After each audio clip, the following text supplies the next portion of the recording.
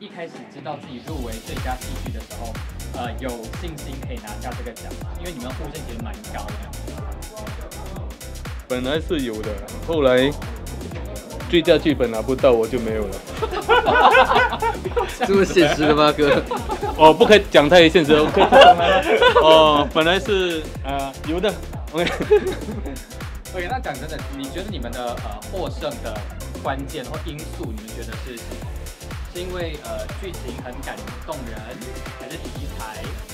我觉得演员这一次哦，真的是把我的剧本啊发挥的淋漓尽致，然后都很到位，就是每一个角色啊，几乎我觉得是几乎都天衣无缝，没有一个弱点，每一条线都好看。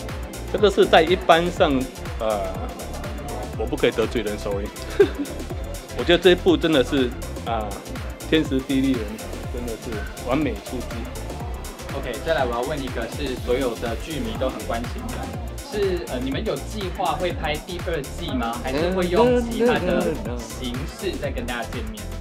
有这个计划跟打算吗？这个我也很想知道。我也很想知道。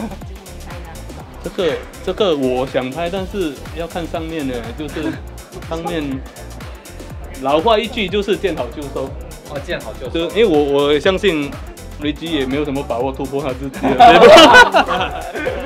走了走了，不可以不可以不可以不可以，可能那个可以哦，可能可能下一步就换换那个红毛丹有一点点问题。如果有的话，然后他们还要找回同样的班底，其实也不容易，嗯，主要是时间很难配合，对吗所以留留一线可以给我们期待一下。OK 的，OK 可以。？OK。好，接下来呢，我要问两位入围男主角的，你们会不会很有信心可以拿到男主角？有啊，有信心啊。我的我的信心都放在他的身上。你们有压力吗？我的压力是来自于他的话。我们当听看吧。随缘。随缘随缘随缘，对随缘。